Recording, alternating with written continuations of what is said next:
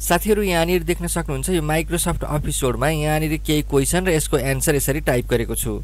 अब मैले यहाँनिर यो माइक्रोसफ्ट अफिस वर्डमा चाहिँ यो एन्सरमा यसरी टिक लगाउन मिल्छ। देख्न सक्नुहुन्छ यहाँनिर मैले चेक बक्स राखिरहेको छु।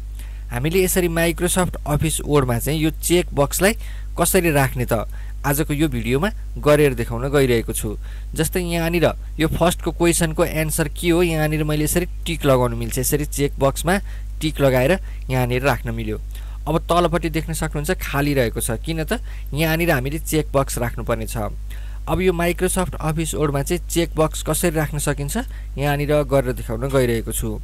यदि तपाईँहरू पनि यो माइक्रोसफ्ट अफिस वर्डमा चाहिँ यो चेक बक्स राख्न चाहनुहुन्छ भने सबैभन्दा पहिला यो होम इन्सर्ट डिजाइन लेआउट यसरी देखाइरहेको छ। यहाँनिर डेभलपर भन्ने ट्याबलाई पनि आउने बनाउनु पऱ्यो त्यसको लागि चाहिँ यहाँ फाइलमा जानु होला त्यसपछि यहाँ लास्टमा अप्सन भनेर देखाइरहेको हुन्छ यसमा क्लिक गर्नुहोस्। त्यसपछि यसरी यो बक्स खुल्छ।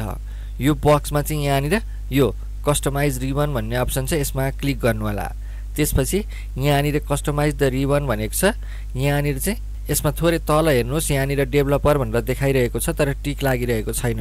यसमा टिक लगाइदिनुहोस् र ओके गर्नुहोस्। अब चाहिँ यो डेभलपर भन्ने ट्याब यहाँनिर आइसकेको छ। अब हामीले यो प्रत्येक अप्सनहरूको अगाडि चेक बक्स राख्नु छ। कसरी गर्ने त? यहाँनिर फर्स्टको यो फर्स्टकोमा राखौँ त्यसैले यहाँ क्लिक गरेँ। अब यो डेभलपरमा जानु होला डेभलपरमा गएपछि यहाँनिर तपाईँले यो चेक बक्सको साइन देख्न सक्नुहुन्छ। यसमा क्लिक गर्नुहोला। अब यसरी यहाँनिर आउनेछ। यहाँ तल देखाइसकेको छ। यहाँ मैले यसरी क्लिक गरेँ भने यो अहिले चेक बक्समा टिक देखाएको छैन। यहाँनिर यसरी क्रस देखाइरहेको छ। यसलाई चेन्ज गर्न मिल्छ। अब यसमा टिक राख्नको लागि के गर्ने त? यहाँनिर अहिले क्लिक भइरहेको अवस्थामा यो डेभलपर भन्ने अप्सनमा यहाँ प्रपर्टिज भन्ने देख्न सक्नुहुन्छ। यो डिजाइन मोड भन्दा तलपट्टि छ।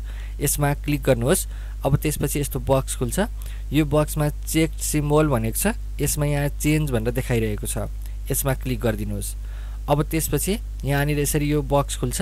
यो बक्समा चाहिँ फन्टको नाम चाहिँ यो विङडिङ्स भन्ने राख्नुहोस् र यसलाई चाहिँ अब तल सार्नुहोस् यहाँ लास्टमा देख्न सक्नुहुन्छ। यो यसरी चेक बक्सको साइन छ। यसमा सेलेक्ट गर्नुहोस् र ओके गरिदिनुहोस्। यसलाई पनि अब ओके गर्नुहोस्। अब देख्न सक्नुहुन्छ यहाँनिर यसरी चेक बक्स आइसकेको छ। अब यो सबैमा राख्नु पऱ्यो तलपट्टि पनि सबैमा राख्नु पऱ्यो भने प्रत्येकमा एक एक गर्दै गर्ने होइन। यो फर्स्टकोलाई कपी गरिदिने। कपी गर्नको लागि फर्स्टको चेक बक्समा क्लिक गर्ने। त्यसपछि यहाँनिर यो तिनवटा डट देखाउँछ।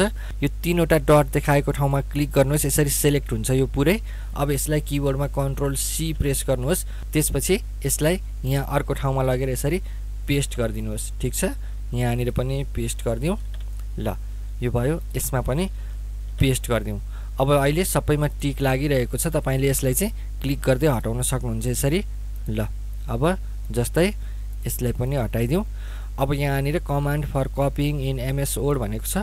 हामीले एमएस वर्डमा कपी गर्नको लागि कन्ट्रोल सी प्रेस गर्छौँ। त्यसैले यसको एन्सर यहाँनिर टिक लगाउनको लागि अब यो चेक बक्समा यसरी टिक लगाइदियो भने यहाँनिर यसरी आउनेछ।